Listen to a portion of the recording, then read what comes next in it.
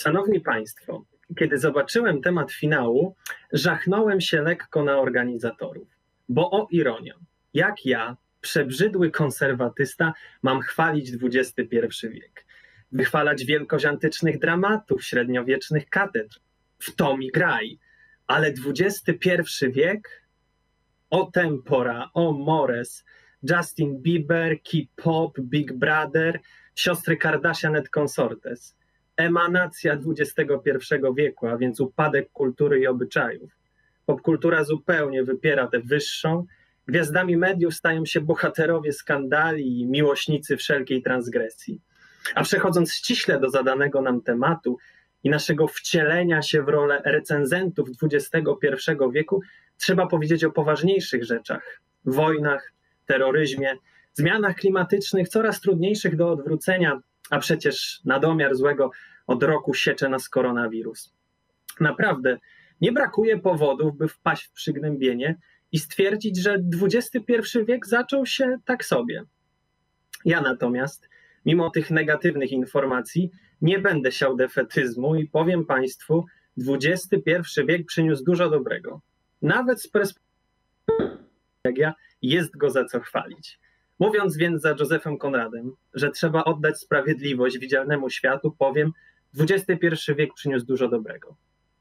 Dziś tego nie doceniamy, szczególnie młodzi. Myślą, że pewne sprawy były oczywiste od zawsze. Internet, rozwój nauki, techniki to oczywiście ogromny postęp. Komunikowanie się na odległość, ruch lotniczy, świat naprawdę stał się globalną wioską. A jeszcze 550 lat temu niemal wszyscy myśleli, że Ziemia jest płaska. Co prawda, niektórzy do dziś tej bariery edukacyjnej nie przeskoczyli, ale powiedzmy, że są wstydliwą mniejszością. Ja jednak chciałbym ująć to wszystko inaczej, bo zostałem zapytany, jaki element współczesności doceniam najbardziej. I oczywiście byłbym głupcem, gdybym nie docenił wysokiej technologii. Ja jednak uważam, że to tylko środek do pewnego celu, że prawdziwym osiągnięciem jest coś innego. Moim zdaniem największą wartością jest dziś równość. Równość szans, równy dostęp do najważniejszych rzeczy wiedzy, kariery, kultury, bez względu na pochodzenie, zamożność czy płeć. Ta mentalna zmiana to najważniejszy element XXI wieku. Oczywiście, powiedzą Państwo, nierówności społeczne coraz bardziej się pogłębiają. Setka najbogatszych ma niemal cały światowy kapitał. To prawda, ale dziś na niespotykaną skalę mamy do czynienia z czymś, o co ludzkość walczyła od wieków. Jesteśmy w 2020 roku. Naprawdę każdy może być self-made manem. Każdy może realizować swój American Dream i nie będzie z tego powodu wytykany jak Wokulski. A ta zmiana dotyczy ogromnych połaci całego świata. Klasa średnia wszystkich społeczeństw może podróżować, pracować w zagranicznych korporacjach, a co tyczy się nas, Żaków, studiować na zagranicznych uczelniach bez ograniczeń. Ktoś powie, kiedyś też można było. No tak, ale chyba trzeba było być synem magnata albo protegowanym monarchy. Dlatego kocham XXI wiek, za tę dostępność, równość. I na koniec, co, co zapamiętają Państwo z tego przemówienia, z tej mini apoteozy XXI wieku? Co zostanie po nas, ludziach XXI wieku?